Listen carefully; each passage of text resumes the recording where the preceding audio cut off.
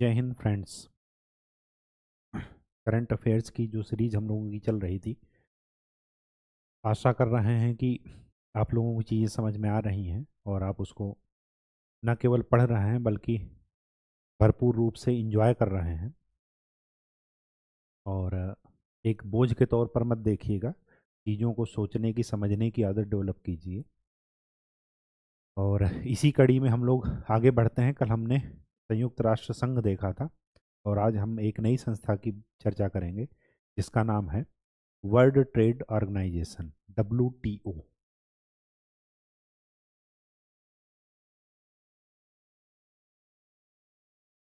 W ठीक? W शुरू करने से पहले कमेंट सेक्शन में तो नहीं, लेकिन किसी का फ़ोन आया था मेरे पास। और उन्होंने कुछ करेक्शंस बताई थी। वो मुझे भी लगा कि हाँ हमने गलती की है। उसको मानने में कोई बुराई नहीं है और उसको सुधार लीजिए। पहली गलती तो ये थी कि यूएनओ जब मैंने पढ़ाया था लास्ट लेक्चर में तो मैंने बताया था वहाँ पर एक सौ पंचानवे सदस्य। तो इसको सुधार कर कर लीजिए 193 टोटल वहाँ पर सदस्यता है एक सौ तिरानवे। ठीक। दूसरी एक चीज़ ये थी कि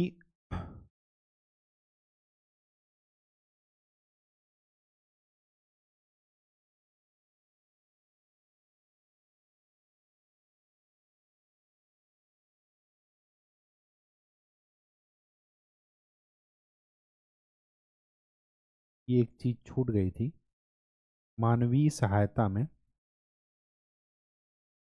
जो यूएनओ का काम था, इसमें मैंने बताया था, संयुक्त राष्ट्र संघ का मानवाधिकार का घोषणा पत्र, एक तो मैंने ये बताया था, मानवाधिकारों की रक्षा में। मानवीय सहायता में एक चीज़ ये भी लिख सकते हैं U N H C R United Nation High Commission of Refugees शरणार्थियों के लिए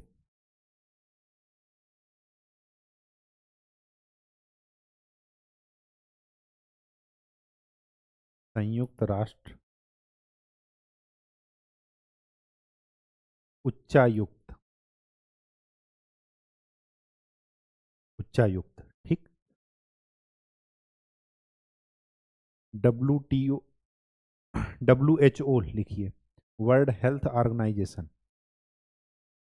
चिकित्सा के क्षेत्र में ये संगठन काम करता है। और तीसरा लिखिए, वर्ल्ड फ़ूड प्रोग्राम। विश्व खाद्य कार्यक्रम। इससे क्या होगा कि आपका जो मानवीय सहायता का डायमेंशन है, जिसको आपने खाली शांति सैनिक तक सीमित कर दिया था, वो आगे हम लोगों ने देखा था कि खाद्यान्न सहायता भी होती है, जैसे भारत ने ही किया। तो उसको यूएन के रेफरेंस में आप ये तीन वर्ड भी लिख लीजिए। ठीक? तो ये करेक्शन है, ये करेक्शन कर लीजिएगा। आज हम लोग जिस ऑर्गेनाइजेशन के बारे में पढ़ते हैं, पढ़ रहे हैं, वो है डब्ल्यू टी ओ, वर्ग ट्रेड ऑर्गेनाइजेशन। सबसे पहले इसका हेडक्वार्टर जेनेवा। जेनेवा है स्विट्जरलैंड में।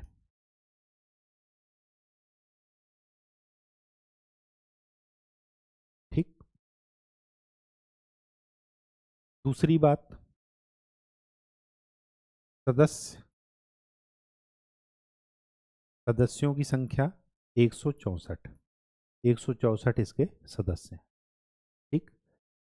जहाँ पर सदस्यों की संख्या ज़्यादा होगी हमेशा वहाँ पर ध्यान रखिएगा कि एक क्रिटिसिज्म ये रहेगा, एक चुनौती उसके सामने ये रहेगी कि आम सहमति कभी नहीं बन पाएगी। या बनेगी तो बहुत ज़्यादा वार्ता करनी पड़ेगी लॉन्ग टर्म होगा। और इतना लॉन्ग टर्म हो जाता है कि जब तक वो आम सहमति बन जाती है, तब तक मुद्दा ही चेंज हो जाता है।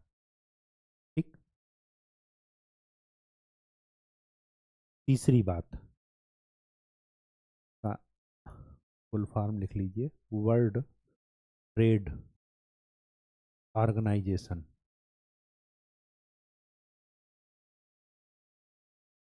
विश्व। व्यापार। संगठन। एक विश्व व्यापार संगठन। हुआ ये कि 1948 के आसपास जब ये हुआ कि संयुक्त राष्ट्र नाम की एक संस्था होगी जो पूरे वर्ल्ड पर क्या करेगी? अंतर्राष्ट्रीय कानून लागू करेगी। तो वहाँ पर एक समझौता हुआ जिसको बोलते हैं GATS, General Agreement on Trade and Services.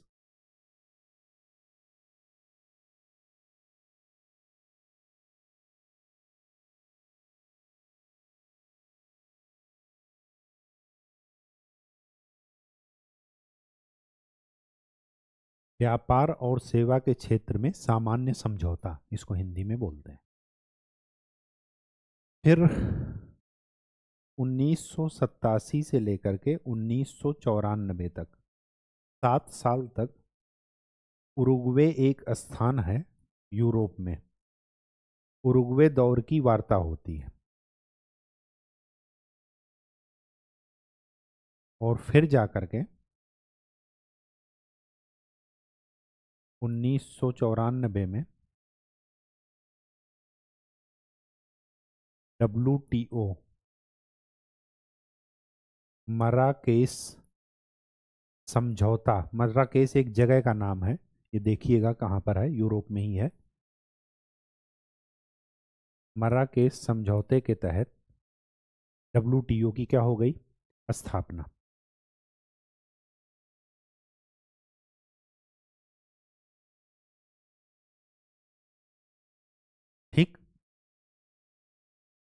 अब डब्ल्यू की स्थापना हुई तो इसके नाम से ही पता चल रहा है।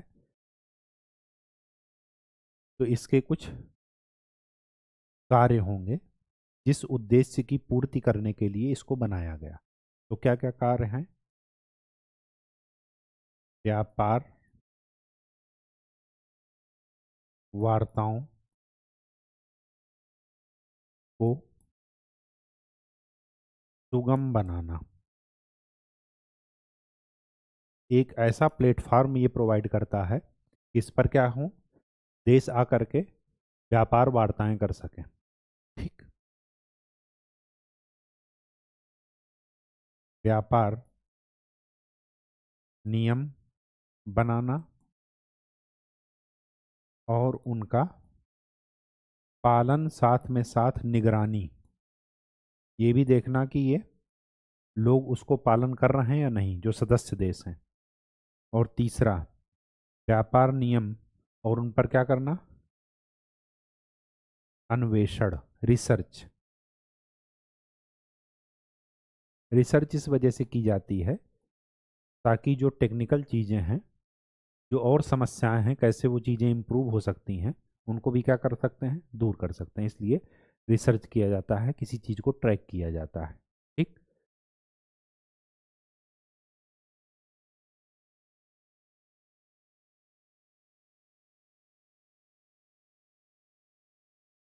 अंतर्राष्ट्रीय व्यापार के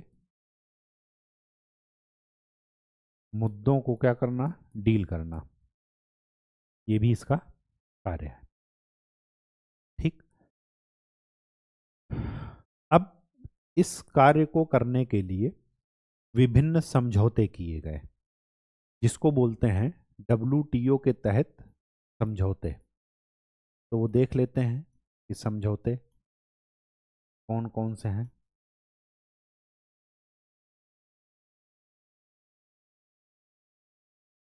पहला। कृषि संबंधी समझौता।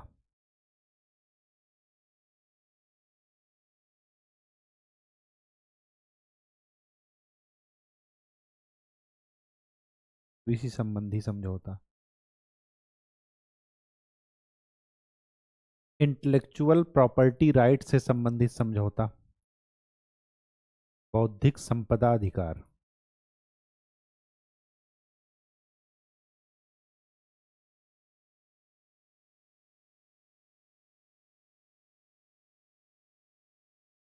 ठीक। फिर है व्यापार सुविधा।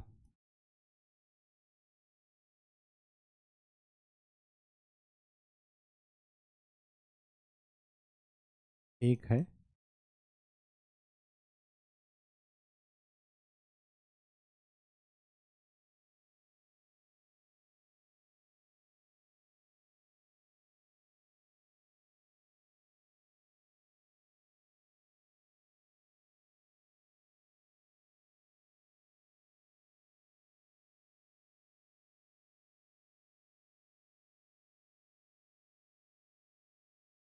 यहाँ पर गैट्स नहीं होगा, यहाँ पर होगा।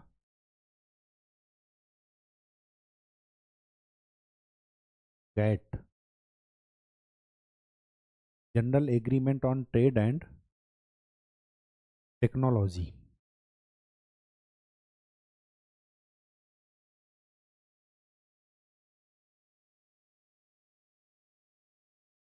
GATS यहाँ पर आएगा। General Agreement on Trade and Services ठीक?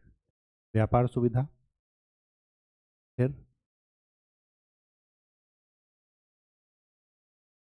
वस्तुओं के?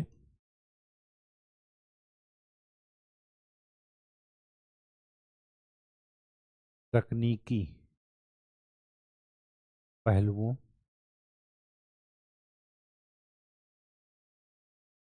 से संबंधित समझौता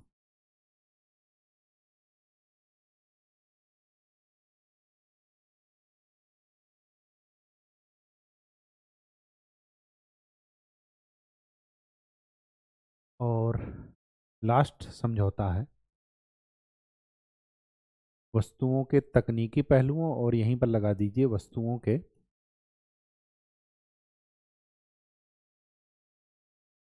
निवेश से संबंधित।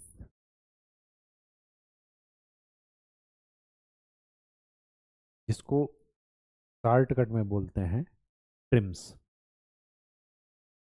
ठीक? तो कृषि संबंधी समझौता हो गया इंटेलेक्चुअल प्रॉपर्टी राइट से संबंधित समझौता हो गया, व्यापार सुविधा हो गया ट्रेड फैसिलिटेशन गैट्स हो गया General Agreement on Trade and Services उसके बाद हो गया वस्तुओं नहीं यहाँ पर होगा, व्यापार व्यापार के।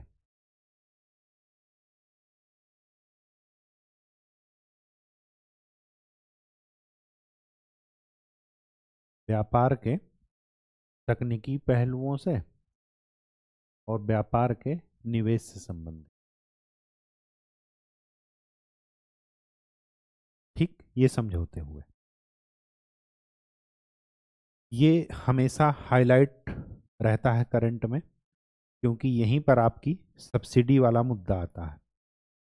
जब हम लोग इकोनॉमिक्स पढ़ेंगे, तब हम ये देखेंगे कि सब्सिडी कितने प्रकार की होती है और क्यों इस पर हंगामा हो रहा ठीक? फ़िलहाल अभी ये साल दो साल के लिए करंट में न्यूज़ में नहीं था तो अभी इसको छोड़ देते हैं। अभी ये किस लिए न्यूज़ में आया है वो देख लेते हैं पहले कि डब्ल्यूटीओ किस लिए न्यूज़ पर आया। जो हमने आपको बताया कि वस्तुओं के तकनीकी पहलुओं पर या निवेश पर तो वहाँ से एक समझौता हुआ, जिसको बोलते हैं आईटीए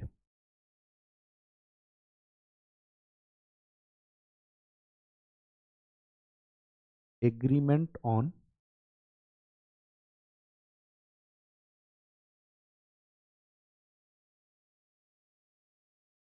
या ये कहिए इंफॉर्मेशन टेक्नोलॉजी एग्रीमेंट। जो आईटी इक्विपमेंट्स हैं, उनके व्यापार से संबंधित जो समझौता हुआ, उसको बोलते हैं आईटीए ठीक? यूरोपीय संघ ने भारत पर यह आरोप लगाया कि आपने आईटीए के तहत आईटीए समझौते को क्या किया? ब्रेक किया। तोड़ा है। डब्ल्यू पर ये अपीलीय मंच प्रदान करता है डब्ल्यू वहाँ पर मेंबर्स में जो भी डिस्प्यूट होता है, उनका क्या होता है? निर्णय होता है। तो यूरोपीय संघ के फेवर में डब्ल्यू ने निर्णय दिया और भारत के खिलाफ दिया। तो भारत ने क्या किया? इसकी जो अपीलीय प्राधिकरण है, उसमें अपील की। और अपील क्या की? कि चूँकि IT group agreement IT equipment जो इस समय के लेटेस्ट हैं जैसे मोबाइल हुआ संचार उपकरण हुए ठीक कंप्यूटर हो गया ये सब डब्ल्यू के उस समय के समझौते में शामिल नहीं थे। क्यों? क्योंकि फ्यूचर में क्या टेक्नोलॉजी आने वाली है? जैसे अभी ब्लॉकचेन का देख लीजिए। आप देखिए कि जो जिसे आप कहते हैं हम्म, कौन सी करेंसी उसको बोला जाता है?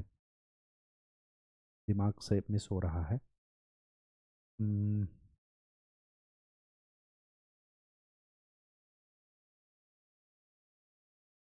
जैसे बिटकॉइन की करेंसी। चलिए दिमाग में आएगा तो बता देंगे। ये ब्लॉकचेन टेक्नोलॉजी का इस्तेमाल करके करेंसी बनी है। जिसका कि जो है, किसी भी देश की किसी भी बैंक पर उसका कोई कंट्रोल है ही नहीं।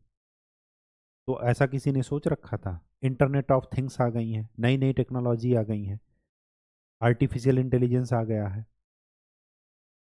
डार्क वेब आ गए डार्क ये वेब आ गया। उसके बाद ये जो आ, आ रहा है कि देखिए प्रधानमंत्री जी ने भी अपने देश के कहा है कि उनको कहीं नाचते हुए दिखा रहे हैं।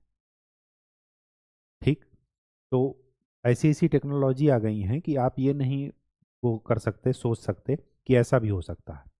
तो भारत ने ये कहा कि आईटी इक्विपमेंट जो इस समय के लेटेस्ट हैं, वो इस समझौते के तहत शामिल नहीं है। इसकी वजह से इन्होंने अपीली प्राधिकरण में गए हैं। ठीक, ये है मुद्दा जिस वजह से न्यूज़ में था। ठीक, अब देखते हैं कि डब्ल्यू की उपलब्धियाँ क्या थी। क्यों ये संस्थान अभी तक क्या है? चल रहा है। अब उपलब्धियाँ क्या थी? पहली बात तो जो इसके सदस्य हैं, एक सदस्य, पूरे वर्ल्ड का 95 परसेंट ट्रेड डब्ल्यू के सदस्य देशों के द्वारा होता है।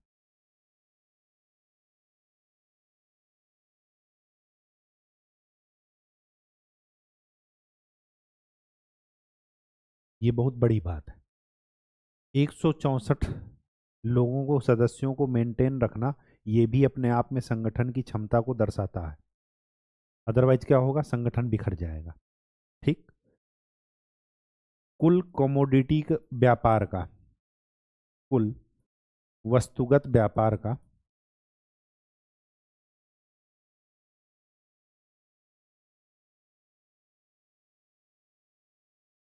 सेवेंटी परसेंट डब्ल्यू के द्वारा होता है। ठीक? इसकी उपलब्धि एक और है, वो ये कि यहाँ पर विकासशील देशों को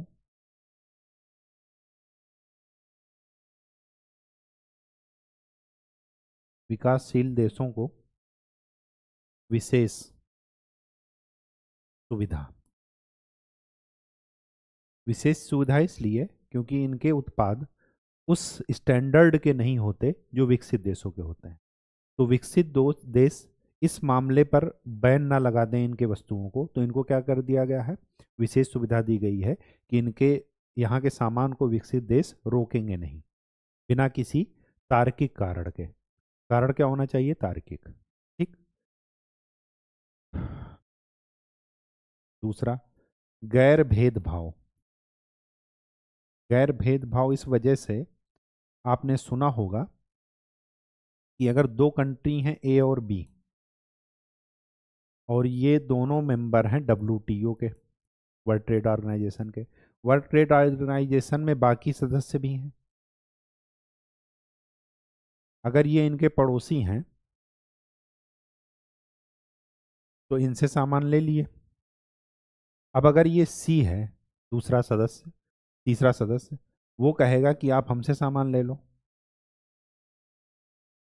तो ए का जो पॉलिसी बी के साथ होगी, वही सी के साथ होगी। ये कभी भी किसको, वो जो है, एक दूसरे पर वरीयता नहीं दे सकते। ठीक? जिसको आप कहते हैं, Most Favoured Nation. M F N Bharat ने पाकिस्तान को मोस्ट फेवर्ड नेशन का दर्जा दे रखा है, लेकिन पाकिस्तान ने अभी तक भारत को नहीं दिया। उसका सीधा सा मतलब ये है कि पाकिस्तान से लिया गया सामान किसी भी मामले में, दूसरे देश से लिए गए सामान की तुलना में हम भेदभाव उनमें नहीं करेंगे। उन पर भी वही टैरिफ, वही शुल्क आरोपित करेंगे जो बाकी देशों पर करेंगे। ठीक?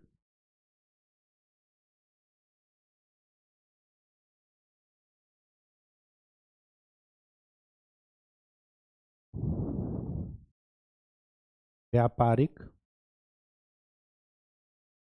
नियमों की अंतर्राष्ट्रीय स्वीकार्यता, जो इनके द्वारा नियम बनाए गए, वो सभी देश क्या कर रहे हैं? फॉलो कर रहे हैं।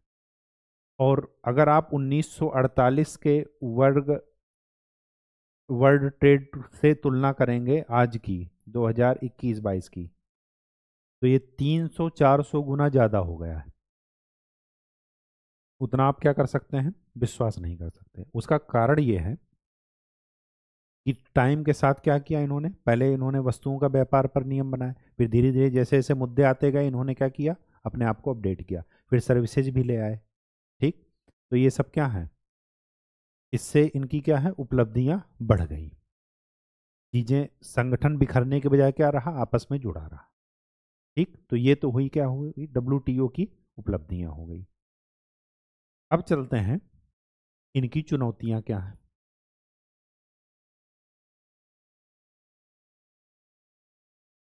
चुनौतियाँ पहली चीज़ यही है। क्या? कि इतने ज़्यादा देशों के बीच में संरक्षणवाद?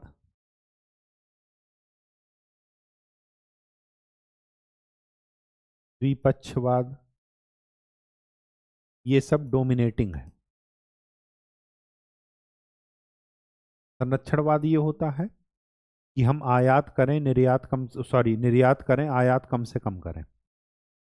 मतलब हम अपने क्या करें? घरेलू उद्योगों को ज़्यादा से ज़्यादा प्रोटेक्ट करें। जबकि डब्ल्यू में क्या कहा गया है? कि घरेलू उद्योग और बाहर से जो सामान आ रहा है।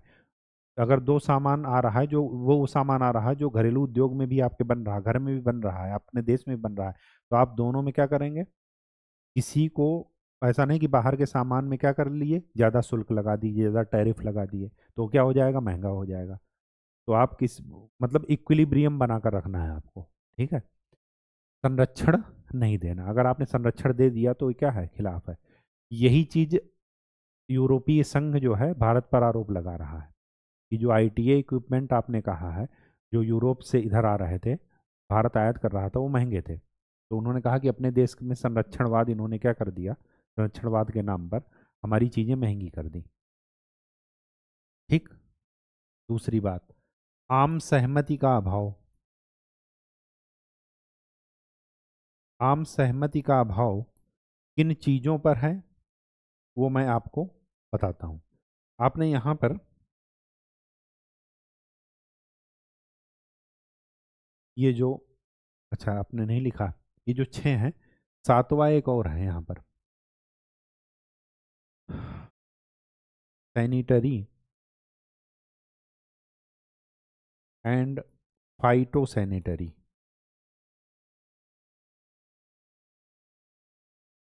से संबंधित समझौता।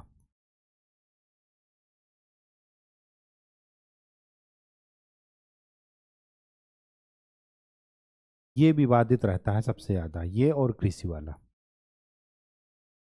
ठीक, विवादित तो ये भी रहता है इंटेलेक्चुअल प्रॉपर्टी राइट लेकिन ये सबसे ज़्यादा। ऐसा इस वजह से, देखिए सैनिटरी का मतलब होता है स्वच्छता और फाइटो सैनिटरी का मतलब होता है पादप स्वच्छता। पादप स्वच्छता का मतलब ये हुआ, जैसे सब्ज़ी है, सब्ज़ी अगर हमने निर्यात किया, स्वाभाविक सी बात है कि हम यहाँ पर सब्ज़ी का उत्पादन करने के लिए क्या कर रहे हैं? ज़्यादा कीटनाशक डाल दिए। हम ज़्यादा खाद का इस्तेमाल कर यूरिया का। यूरिया का इस्तेमाल करेंगे तो पौधा क्या होता है? सब्ज़ी जल्दी तैयार हो जाती है, लेकिन वो खाने लायक मतलब नुकसानदेह ज़्यादा रहती है।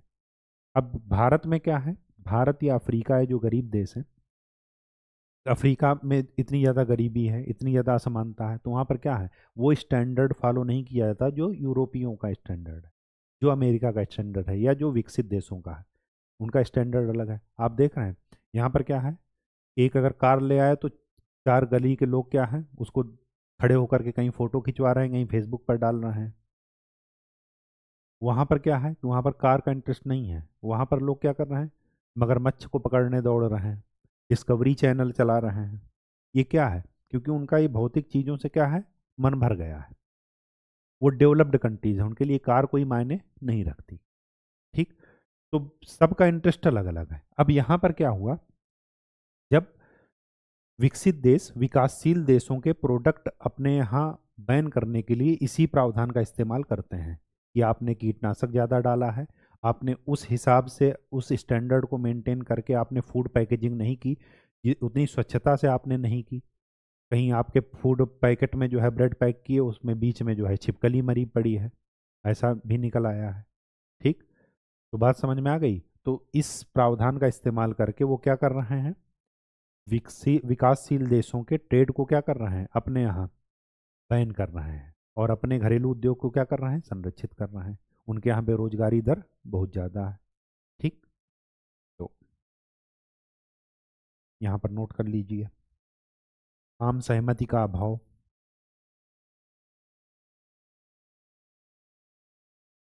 विकासशील देशों का उत्पाद, स्वच्छता पादप स्वच्छता फाइटोसैनिटरी फाइटोसैनिटरी का मतलब मैंने आपको बता दिया। के नाम पर या मानक पर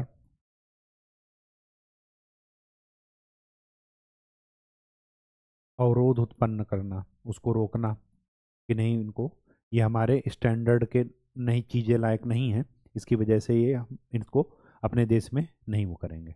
ठीक? चौथी बात ये भी है।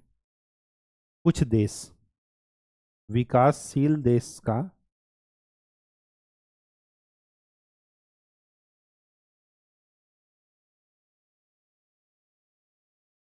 दर्जा जानबूझ करके लेना चाहते हैं। क्यों? क्योंकि विकासशील देशों को क्या है? प्रेफरेंस मिलती है। अब इसका सबसे बड़ा एग्ज़ाम्पल क्या है? चीन। अमेरिका ये कह रहा है कि वैसे तो आप क्या कर रहे हो? अमेरिका के साथ लड़ने को तैयार हो। आप अपने को सुपर पावर कह रहे हो और बने क्या हो? विकासशील देश। क्यों? क्योंकि चीन उस समय उसमें विकसित देश नहीं बनना चाह रहा। क्यों नहीं बनना चाह रहा? क्योंकि अगर विकासशील देश का दर्जा उसको है तो उसके क्या है? प्रोडक्ट। बाहर जाने के लिए उनको क्या हो जाता है? प्रेफरेंस मिल जाता है। तो ये भी एक क्या है? चुनौती है कि कुछ देश जानबूझ करके विकासशील दर्जा का, विकासशील देश का दर्जा गेन किए हुए हैं। अब इसकी वजह से क्या है कि गेहूँ के साथ घुन भी पिसेगा? अगर इनके साथ इन्होंने विश्वास कम किया तो बाकी विकासशील देश भी क्या होंगे? हल्ला मचाएँगे। उन, वो भी क्या होंगे? इन्हीं के चक्कर में बाहर होंगे ग्रुप से। ठीक? उनके उत्पाद भी क्या लगेगा? ज़्यादा बैन लगेगा। ज़्यादा चीज़ें माना कठोर होंगी। ठीक? पांचवा आम सहमति पर एक चीज़ ये भी लिख लीजिए, आम सहमति किन किन चीज़ों पर नहीं बन पा रही है? जैसे सब्सिडी का मुद्दा हो गया।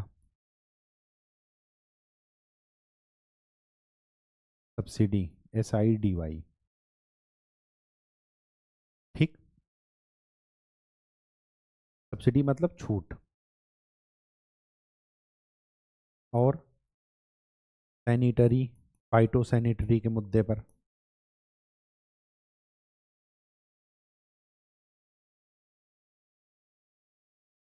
इन पर नहीं हो पा रहा है।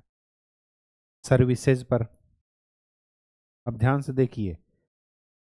अमेरिका चाह रहा है कि हम ज़्यादा से ज़्यादा सामान बाहर भेजें। क्यों? क्योंकि उसकी इकोनॉमी क्या होगी? बूम होगी। और भारत में क्या है? कि यहाँ पर सॉफ्टवेयर उद्योग, वो सर्विस के पार्ट में आ रहा है। सॉफ्टवेयर का सबसे ज़्यादा क्या है? निर्यातक है भारत। यहाँ के इंजीनियर, सॉफ्टवेयर इंजीनियर्स वर्ल्ड में सस्ते लेवल पर उपलब्ध हो जाते हैं। क्रम कम श्रम में। अमेरिका में जो इंजीनियर, सॉफ्टवेयर इंजीनियर दो लाख पर मंथ की सैलरी लेगा, भारतीय वहाँ पर जाकर के पचास हज़ार सैलरी पर भी काम किए दे रहे हैं।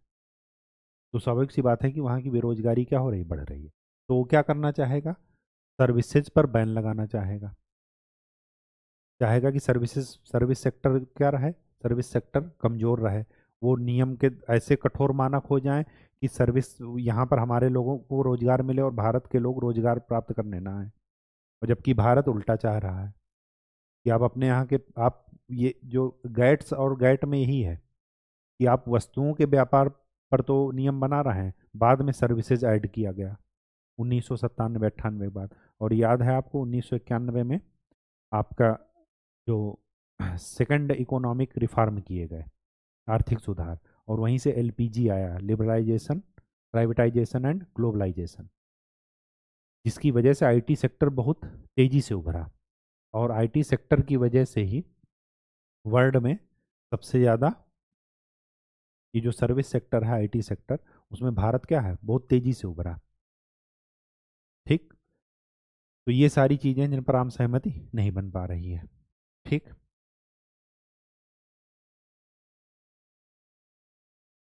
एक दिक्कत यहाँ पर और है। यहाँ पर कुछ ऐसे मुद्दे आ गए हैं जिनके पास जिनके ज, जिनका जवाब डब्ल्यूटीओ के पास है ही नहीं। जैसे क्लाइमेट चेंज क्लाइमेट चेंज से एग्रीकल्चर पर क्या प्रभाव पड़ेगा? सर्विसेज़ पर क्या प्रभाव पड़ेगा? ट्रेड पर क्या प्रभाव पड़ेगा? लोगों पर क्या प्रभाव पड़ेगा? जनसंख्या पर। इसका जवाब इनके पास नहीं है, ये केवल गेस कर रहे हैं और इनसे संबंधित कोई नियम भी नहीं है। जैसे, एक चीज़ और देख लीजिए ई कॉमर्स से रिलेटेड अभी तक इनके पास कोई नियम नहीं है। जैसे जैसे टेक्नोलॉजी चेंज हो रही है, लोगों का चॉइस चेंज हो रहा है, लोगों की सुविधाएँ चेंज हो रही हैं तो इनको इन, उसमें क्या करना पड़ेगा? शामिल करना पड़ेगा। ई कॉमर्स हो गया डिजिटल इकोनॉमी हो गया।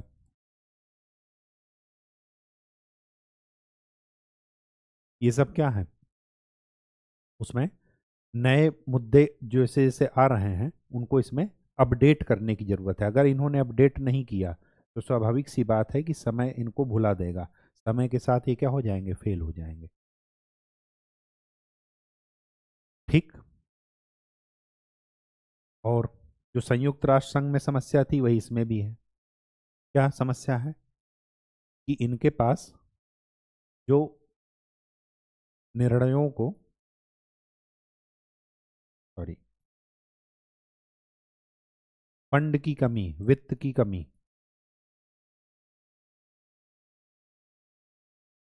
फंड किससे आता है? सदस्य देशों के योगदान पर। और वो योगदान क्या है? स्वैच्छिक है। जिसकी मर्ज़ी हो दे, चाहे ना दे। तो सबसे ज़्यादा योगदान कौन कर रहा है? अमेरिका। अब अमेरिका कर रहा है तो स्वाभाविक सी बात है कि वो इस संस्था से ऐसा अनु, ऐसा जो है, उस संस्था का इस्तेमाल करेगा कि विकासशील देशों का लिस्ट डेवलप कंट्रीज़ का इस्तेमाल या इन, इस संस्था का इस्तेमाल अपने हितों के अनुसार करेगा। ऐसे ऐसे नियम बनवाएगा कि जो उसके हितों की पूर्ति कर सकें। और यही मुद्दा है डब्ल्यू में विकसित और विकासशील देशों में। कभी कभार आपने देखा होगा कृषि समझौते पर विकासशील सारे देश एक साथ आ गए, विकसित देशों के अलग हो गए। और उस समय भारत और चीन में ऐसी एकता देखने को मिली पाकिस्तान में कि पूछिए मत, जैसे लग रहा है कभी लड़ाई ही नहीं की है, ये आपस में प्रतिद्वंदी ही नहीं है। क्यों? क्योंकि सीधी सी बात यह है कि इंटरनेशनल रिलेशन हो या व्यक्तिगत जीवन हो, ना तो कोई आपका परमानेंट शत्रु है, ना ही परमानेंट मित्र है। केवल और केवल अपना इंटरेस्ट ही परमानेंट होता है। ठीक? और इसी चीज़ को ध्यान में रखना है। ठीक है? तो फंड की कमी। और मैं आपको बत, बात बता दूँ ये जो जो सबसे ज़्यादा फंडिंग देगा वो इस संस्था को अपनी कठपुतली के हिसाब से नचाएगा। अब स्वाभाविक सी बात है कि यूएसए यूएसए ने ये जो भारत ने जिस अपीलीय प्राधिकरण में अपील की है उस अपीलीय प्राधिकरण अपीलेट ट्रिब्यूनल अपीलेट अथॉरिटी की नियुक्ति पर रोक लगा रखी है। अब ध्यान से देखिए मतलब कोर्ट तो है, लेकिन जज ही नहीं है। रोक लगा रखी है। अब जब रोक लगा रखी है तो भारत ने जो अपील किया, उसको कोई सुनवाई करेगा? कोई नहीं करेगा। और सिर्फ़ और सिर्फ़ इसी वजह से है। क्यों? क्योंकि इनके पास अपना कोई कोष ही नहीं है, अपना कोई वित्त ही नहीं है। ये इसी पर निर्भर है कि सदस्य देश जो भी चंदा देंगे, उसी पर ही चलेंगे।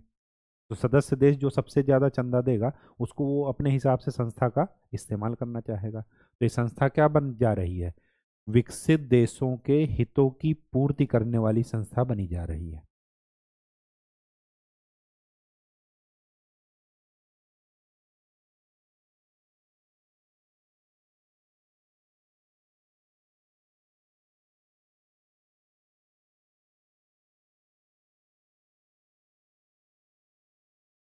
अब जब एक सौ चौंसठ सदस्यों में सहमति नहीं बनेगी तो स्वाभाविक सी बात है कि रीजनल ऑर्गेनाइजेशन वो आपस में उभरेंगे।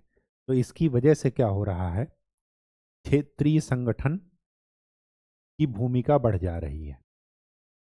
मैंने आपको बताया था कि सौ लोगों को साथ लेकर चलने से अच्छा है कि दस लोगों को साथ लेकर चला जाए। क्यों? क्योंकि जितने कम लोग होंगे, उतने ही कम ज़्यादा ईशूज़ होंगे।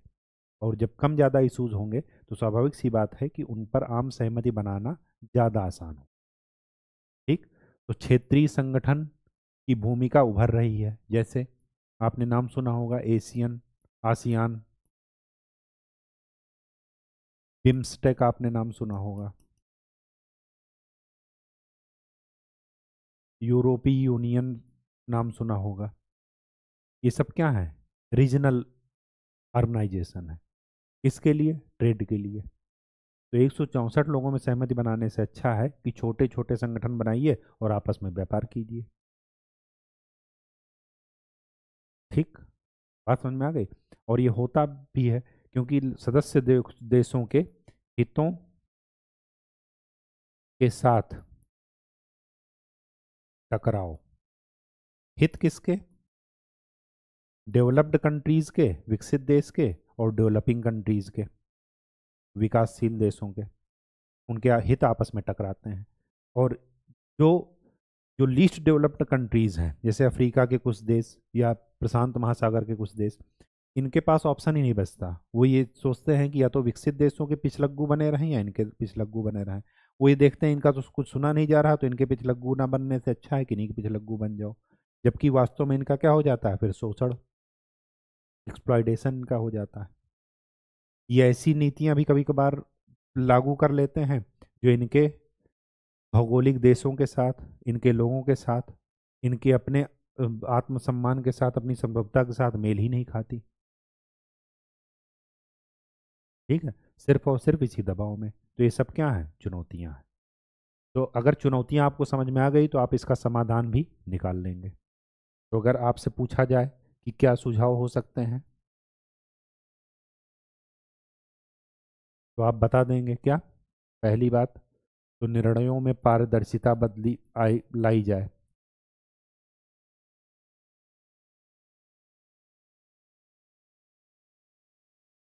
दूसरी बात कि उभरते मुद्दों को भी क्या किया जाए? उभरते मुद्दों के साथ डब्ल्यूटीओ को खुद के नियम अपडेट करने की ज़रूरत है। उन्नयन करने की ज़रूरत है उनका। उभरते मुद्दे आर्टिफिशियल इंटेलिजेंस ब्लॉकचेन टेक्नोलॉजी ठीक? ये जलवायु परिवर्तन क्लाइमेट चेंज ग्लोबल वार्मिंग इनसे सबसे रिलेटेड ठीक है? ग्रीन इकोनॉमी हो गया, ठीक? तीसरा प्रौद्योगिकी और विकास को बढ़ावा दिया जाए। ठीक? विकसित देश अपने शर्त पर प्रौद्योगिकी ट्रांसफ़र करना चाहते हैं कि हमें आप ज़्यादा पैसा दीजिए तब हम टेक्नोलॉजी देंगे। विकासशील देशों के पास या लिस्ट डेवलप्ड कंट्रीज़ अल्प विकसित देशों के पास कोई ऑप्शन नहीं बचता। ठीक? फोर्थ वित्त की पर्याप्त उपलब्धता।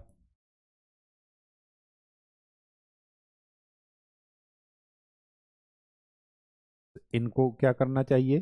कि कंपलसरी कर देना चाहिए कुछ लोगों के लिए कि आप इतना इतना फंडिंग देंगे। स्वैच्छिक ना रहे पद और उसके लिए अलग कोष और अलग संगठन, अलग इसका जो महानिदेशक होता है वो पूरे वर्ल्ड ट्रेड ऑर्गेनाइजेशन को देखता है। उसके अंदर कोई बॉडी हो, होनी चाहिए।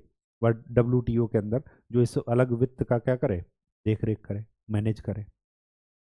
ठीक? लोगों की सहायता करे, जो अल्प विकसित देश हैं। ठीक?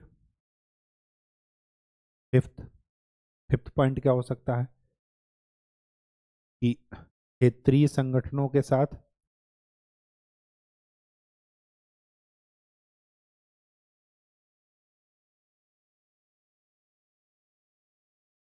विरोधाभासी ना बन करके पूरक बनना। मतलब उनको भी अपने में क्या कर लेना, शामिल करना और उनकी भी नीतियों और इंटरेस्ट को समझ करके कुछ ऐसा बीच का रास्ता निकालना है कि दोनों संगठन एक दूसरे के विरोधाभासी ना बन करके एक दूसरे के पूरक बने। ठीक?